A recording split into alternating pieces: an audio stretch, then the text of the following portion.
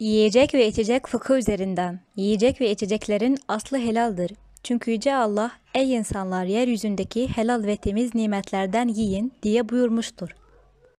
Kendiliğinden ölen murdar hayvan, kan, domuz eti, alkol ve benzeri onu haram kılan ayetlerde geçenler hariç şeriatta yenilmesi haram olarak geçenler de haram kılınmıştır.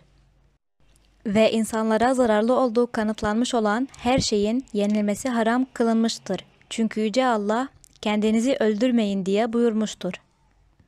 Ve necis yiyecek ve içecekler de çünkü Cenab-ı Hak onlara pis ve kötü her şeyi haram kılar diye buyurmuştu. Yüce Allah murdarlıkları ve murdarlıkların pisliğini haram kılmıştır. Ayrıca her türlü uyuşturucu kullanmak da yasaktır. Çünkü Peygamber Efendimiz her uyuşturucu alkoldür ve alkol haramdır diye buyurmuştur. Bu devirde yayılan ve sakınılması gereken de haramlardan biri de şudur, sigara içmektir. Çünkü bu murdarlıklardan biridir. Çünkü vücuda zarar verir ve ölümcül kronik hastalıklara neden olur. Bu çağdaş tıbbi araştırmalardan kesin olarak kanıtlanmıştır.